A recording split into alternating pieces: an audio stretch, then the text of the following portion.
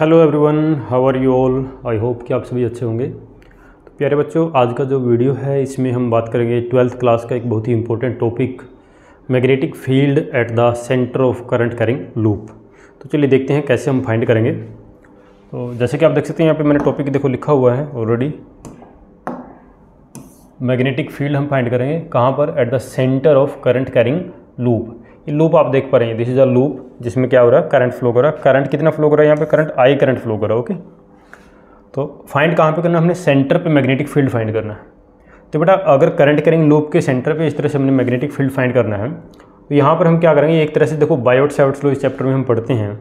Biot Savart's लो क्या है? Biot and Savart ने एक लो दिया था, एक नियम दिया था कि किसी करंट करिंग वायर की वजह से आसपास कहीं पर आपने अगर मैग्नेटिक फ़ील्ड निकालना है तो उसके लिए हमारे पास मैथमेटिकली ये फॉर्मूला होता है, ये उन्होंने दिया था। ओके स्मॉल लाइन एलिमेंट की वजह से। डी बी हम यहाँ पे देखो क्यों लिखते हैं? क्योंकि लाइन का हमने एक छोटे से टुकड़े में जो करंट फ्लो कर रहा है, उसकी वजह से वहाँ पर हमने फ़ील्ड फाइंड किया है। तो फ़ील्ड क्या होगा? स्मॉल होगा फ़ील्ड की वैल्यू कम होगी। डेट्स वाई यहाँ पर हम डी बी लिखते हैं।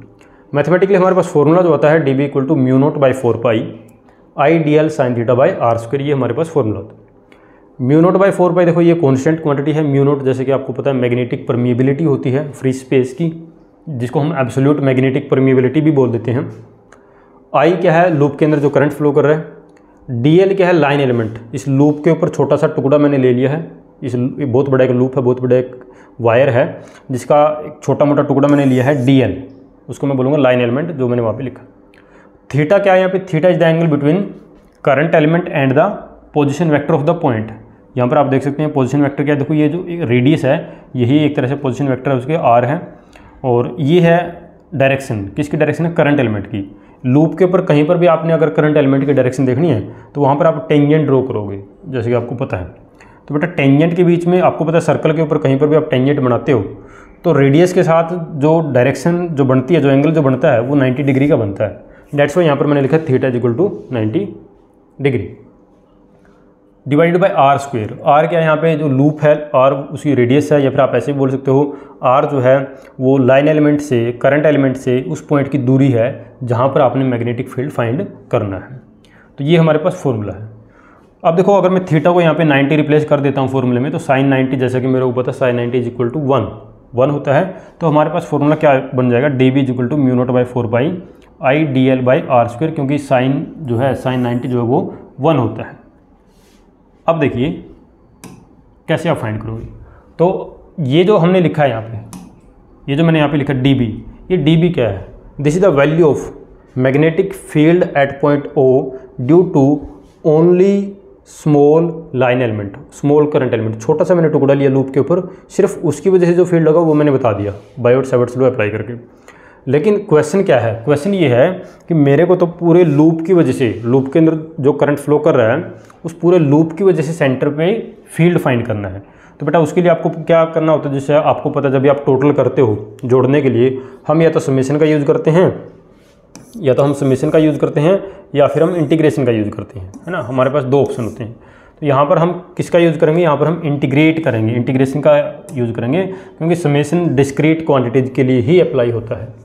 तो देखो बेटा, यहाँ पर मैंने लिखा total magnetic field at point O due to whole loop complete wire तो टोटल के लिए मैं बी से लिख देता हूँ। तो बी निकालने के लिए मेरे को इंटीग्रेशन करना पड़ेगा किसका? डी का इंटीग्रेशन करना पड़ेगा। अब इंटीग्रेशन का सिंबल देखो, आपको पता है इंटीग्रेशन का ये सिंबल होता है, लेकिन मैं यहाँ पे सर्कल भी लगाया है। वाई सर्कल यहाँ पे क्यों अप्लाई किया है? क्योंकि यहाँ पे हम इंटीग्रेशन करेंगे। हम क्या करेंगे यहाँ पे? लाइन इंटीग्रेशन होगा। Over the close loop loop close है डेट्स यहाँ पे मैंने सर्कल लगा दिया है, ठीक है ना? इंटीग्रेशन होगा उस लूप के ऊपर, उस लाइन के ऊपर। अब यहाँ पे देखो मैंने लिखा mu naught by four pi I D L by R square ये डी बी की वैल्यू मैंने प्रीवियस स्लाइड से जो है ली है। अब इंटीग्रेशन आपको पता है इंटीग्रेशन कैसे करते हैं? इंटीग्रेशन जब भी हम करते हैं इंटीग्रेशन के अंदर जो भी क्वांटिटी कॉन्स्टेंट होती हैं, उनको हम इंटीग्रेशन के ऑपरेटर से पहले ही लिख देते हैं, बाहर लिखते हैं। Mu naught by four pi I by R square ये कॉन्स्टेंट है। करंट भी कॉन्स्टेंट है रेडियस भी कॉन्स्टेंट है लूप की। डी को हमने इंटीग्रेट करना है। तो बेटा डी को जब इंटीग्रेट करोगे, देखो डी क्या है? एक छोटा सा टुकड़ा है इस वायर का, इस लूप का। जब आप उसको इंटीग्रेट करोगे छोटे छोटे इस तरह के टुकड़ों को आप ऐड करोगे सभी को तो पूरे लूप की लेंथ आएगी, पूरे सर्कल की लेंथ आएगी। और पूरे सर्कल की लेंथ का मीनिंग है कि सर्कल का सरकमफेरेंस जिसको हम बोलते हैं two pi R R radius है तो यहाँ पे आएगा डी को इंटीग्रेट करके मेरे पास आएगा टू पाई आर इसको जब मैं कैंसिल करूँगा, टू पाई से यहाँ पे टू आएगा आर से ये पावर कैंसिल होगी, आपको फॉर्मूला मिलता है B is equal to mu naught वहाँ से देखो mu naught I by two R क्या फॉर्मूला मिलता है आपको? Mu naught I by two R ये आपको फॉर्मूला मिलता है। तो ये तो एक अगर सिंगल लूप है तो सिंगल लूप में अगर आई करंट फ्लो करेगा और जिसकी रेडियस अगर आर होगी तो मैग्नेटिक फ़ील्ड सेंटर पे इतना होगा। लेकिन कई बार देखो प्रैक्टिकली हमको देखने में क्या आता है? प्रैक्टिकली जो हम देखते हैं प्रैक्टिकली हम देखते हैं कि कोई भी जो लूप होता है, वहाँ पर सिंगल टर्न नहीं होता सिंपल एक टर्न नहीं होता। वहाँ पर बहुत सारे टर्न होते हैं, बहुत सारे जो है लपेटे होते हैं।